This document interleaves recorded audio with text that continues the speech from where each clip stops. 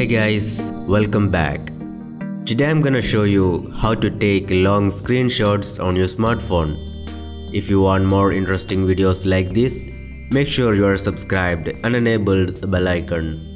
Without wasting any time, let's get started.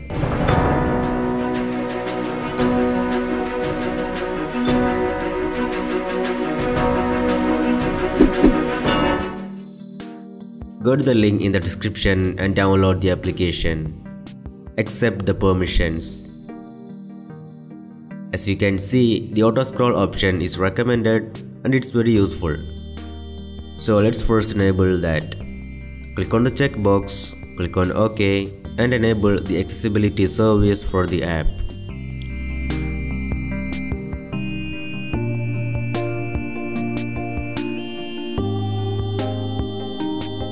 You can take long screenshots in three ways using this app. Let's start from the third one, which is selecting individual screenshots and combine them to make a long one.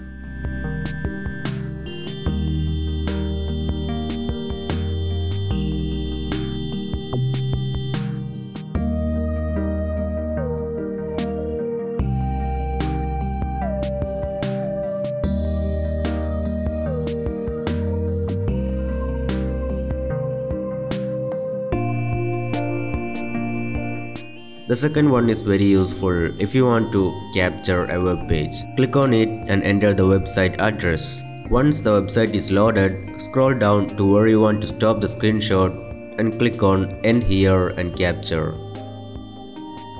And it will capture it automatically for you.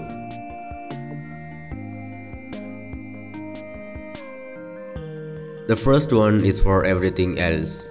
Click on it and you will get something like this. Open the app you want to take long screenshot and click on start. It will automatically scroll and capture the screen until you tap somewhere above this red line to stop. Once you've done that, you can adjust them if you want and click on save and it will be saved. That's it, hope you've learned something new. If you did, please leave a like and share to your friends. Don't forget to check out my other videos on the screen. Thanks for watching.